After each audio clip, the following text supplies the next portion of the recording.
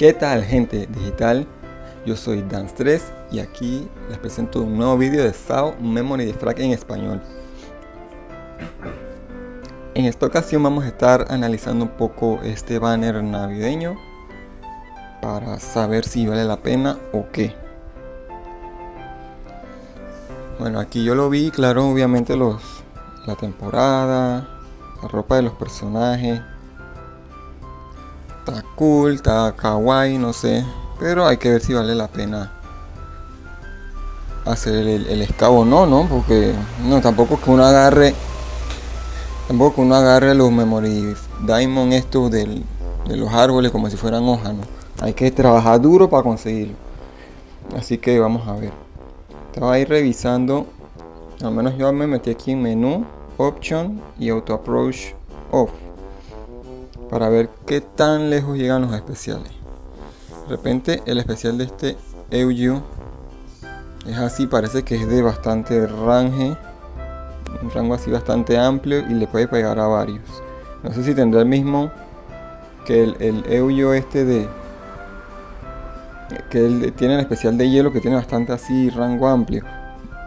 No sé si será el mismo rango porque nada más tenemos un enemigo aquí cerca, ¿no?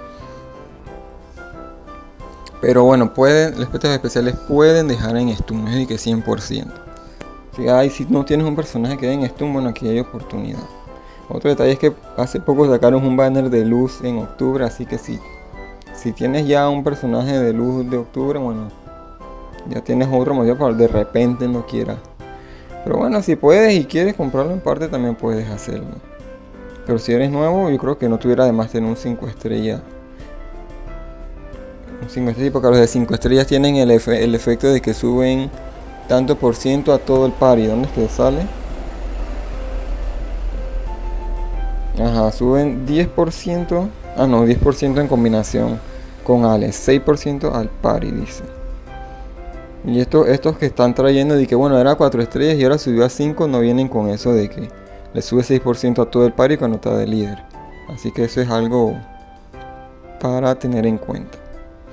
El punto es que si activé cosa de range y parece que tiene, digamos aquí lo tiro, ahí ya no le da.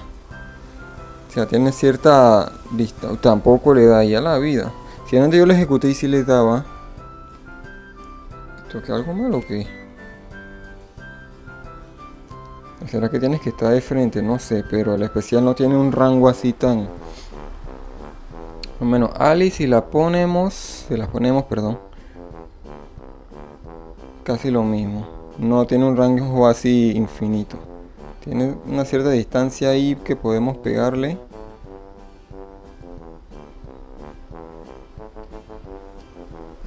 Pero no es que infinito. Aquí lo que sí es infinito es ella. Que sale por la espalda sea donde sea que esté. Y creo que se puede ejecutar rapidito el especial. Sea, se ejecuta rápido y sale en la espalda. O sea, si está ahí que por allá bien lejos, sale en la espalda una. Esos especiales así son cool. Yo por lo menos tengo una personaje así. Que es esta Yuki del verano. una también tiene un especial así que sale por la espalda. Y se ejecuta bastante rápido. Así que bueno, nada, yo diría que o sea, si acabas de llegar al juego, puedes hacer scout, definitivamente. Si no tienes ni un tipo Holly, hay que aprovechar porque la verdad, aparte de, de estrategia, por lo menos tiene uno de cada inate de 5 estrellas. Uno de cada, lo dije bien, ¿no? Ajá, de 5 estrellas para poder tener esto de y que party líder 6% de ataque. Y bueno, ese especial de Euyo, la verdad, si le pega a varios, eso ayudaría bastante. Porque la verdad aquí no se ve. Bueno, el de ella, bueno, no está de que tan... Bueno, estéticamente está bonito, un arbolito de Navidad. Hay gente que le gusta y que, wow, kawaii, no sé qué. Pero el asunto es eficiencia porque es, plata lo que estamos hablando. La plata no se consigue. Bueno, no es plata literal, pero es la plata del juego. Los Memory Diamonds. Así que nada, yo recomendaría por lo menos a Asuna, porque por lo menos Asuna tiene rápido, no es de que vara. O sea que la gente que no le gusta estar usando de que vara así, de que Así que en parte este, si no tienes uno así, ayudaría Buku. Y al Eugeo.